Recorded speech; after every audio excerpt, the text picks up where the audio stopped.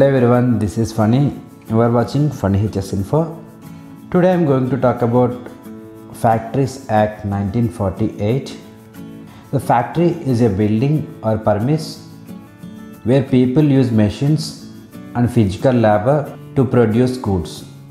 The Factories Act 1948 were passed by the Constituent Assembly on 28 August 1948. The Governor General of India gave his assent on September 23, 1948 and it came into force on 1st April 1949. It provides safeguards to health, safety and welfare of workers in the factories as well as protection to the exploited workers to increase their working conditions in the industries or factories. It will also monitor the owners of the premises and strict observation will be made concerning the factories and other working condition of laborers. The object of this act to prevent human beings from working long hours with the bodily strain or manual labor, to provide the employees to work in healthy and hygienic conditions, to safeguard the workers from hazardous work and the prevention of accidents, to ensure annual leaves with wages, to protect women and children in the course of employment. History of this Act The Factories Act is central legislation which came into existence in 1881. The Act was amended in the year 1891, 1911, 1922, 1934, 1948, 1976 and 1987. It was extensively amended in the year 1948. Let me brief these amendments. The Factories Act 1881. The first Indian Factories Act was enacted in 1881. This act mainly focused on the prohibition of employment of children under 7 years of age this act was made applicable to the factories with more than 100 workers and the factories with mechanical power. The Factories Act 1891 Due to the deficiency of loophole in the 1881 Act, it led to continuous trouble made by the employers. The Commission in 1884 considered the queries made by the employers. Then the Indian Factories Act 1819 was enacted. Factories Act 1911 the safety provisions contained in the 1891 Act were inadequate and there was a several fires occurred in the premises which led to resulting in more than 50 deaths between 1901 and 1905. Therefore, the Factories Act 1911 was enacted to safeguard the workers in the factories. The Factories Act 1922 After World War I, the inauguration of the International Labour Organization was made in 1919 which focused on the working hours, minimum age, night work of women and children. In 1921, there was a strike regarding the ratification of convention by the laborers. Therefore, in 1922, the Factories Act 1911 was amended to include provisions regarding working hours, minimum age and night work of women and children. The Factories Act 1934. In 1929, a royal commission was set up to review the existing act and to make recommendations for the sustainable development in labor's living conditions.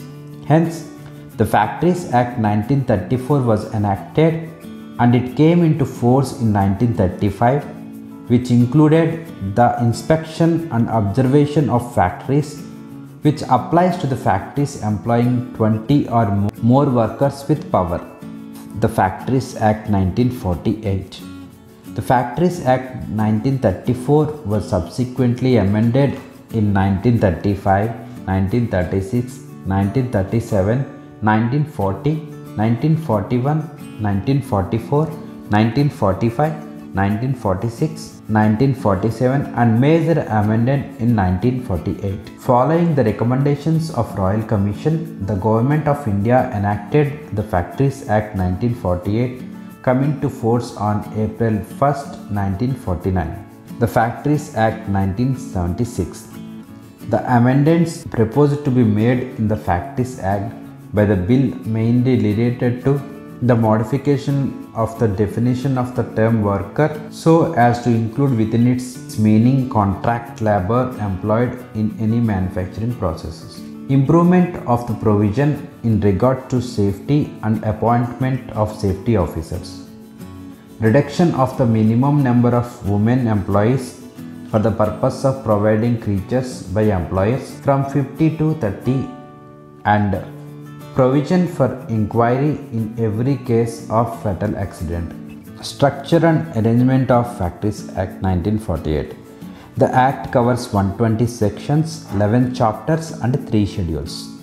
The Chapter 1 Preliminary, Chapter 2 The Inspecting Staff, Chapter 3 Health, Chapter 4 Safety, Chapter 4A Provisions relating to the hazardous process, Chapter 5 Welfare, Chapter 6 Working Hours of Adults, Chapter 7 Employment of Young Persons, Chapter 8 Annual Leave with Wages, Chapter 9 Special Provisions, Chapter 10 Penalties and Procedure, Chapter 11 Supplemental. Let me brief these chapters. Chapter 1 Preliminary. This includes the sections 1 to 7 Applicability. The Act extends to the whole of India, include Jammu and Kashmir. The Act applies to every premises which has 10 or more workers in the manufacturing process and powers also. Premises with 20 or more workers in the manufacturing process and no power. Registration and renewal of factories. Registration and renewal of factories to be granted by Chief Inspector of Factories on submission of prescribed form, fee and plan. Second one, Chapter 2 the inspecting staff. The sections include 7A to 10. This section includes appointment, state government to appoint inspectors by notification. There are six types chief inspector, additional chief inspector, joint chief inspector, deputy chief inspector, inspectors and additional inspectors. Third one chapter 3 health sections from 11 to 20 on dust fumes and refuse we remove daily floor, staircases and passages to be cleaned regularly by sweeping, washing of interior walls and roof at least once in 14 months. The occupier to make adequate ventilation of fresh air and to maintain such temperatures as will secure to workers reasonable conditions of comfort and prevent injuries to health. Fourth one chapter 4 safety. Chapter 4 focused on safety. The sections include 21 to 41. The, safe, the main safety measures are fencing of machinery, safety at work on near machinery in motion, employment prohibition of young persons on dangerous machines, casing of new machinery, prohibition of employment of women and children near cotton openers. Chapter 4a focused on provision relating to the hazardous process which includes the sections from 41A to 41H. A special care to be taken for any process or activity in relation to an industry specified in the first schedule where raw materials used therein are intermediate or finished products, byproducts, waste or effluents therefore would cause material impairment to the health of the person engaged result in the pollution of general environment. Chapter 5 focused on welfare. The sections include 42 to 50. For the welfare of workers, there must be restrooms, lunchrooms, first aid appliances, shelters and creches and creches to be provided. The facilities for washing to be provided and maintained properly for the purpose of workers.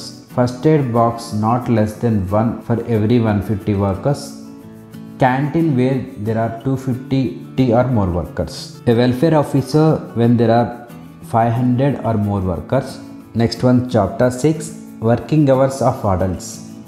This this include the sections from 51 to 66 mainly focused on working hours spread over and overtime of adults, weekly hours not more than 48, daily hours not more than 9 hours, intervals for rest at least 72 hours on working for 5 hours, spread over not more than 1072 hours, overlapping shifts is prohibited, extra wages for overtime double than normal rate of wages, restrictions on employment of women before 6 am and beyond 7 pm. Next one, chapter 7 Employment of young persons. The sections includes 67 to 77. The prohibition of employment of young children, example 14 years. Non-adult workers to carry tokens, example certificate of fitness. Next one, chapter 8 Annual leave with wages. The sections include 78 to 84. A worker having worked for 250 days at one day for every 20 days and for child one day for every working 15 days. Accumulation of leave for 30 days. Chapter 9 Special Provisions. The sections includes 85 to 91A.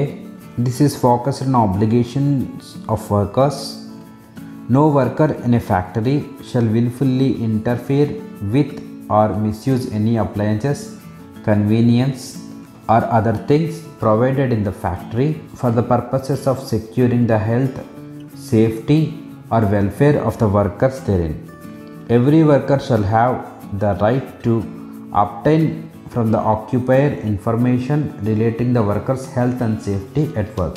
Chapter 10 Penalties and Procedures the sections includes 92 to 106A. Penalties for offences are given in this table. For contravention of provisions of the Act or rules, imprisonment up to 2 years or fine up to 1 lakh or both. And continuation of contravention rupees 1000 rupees per day.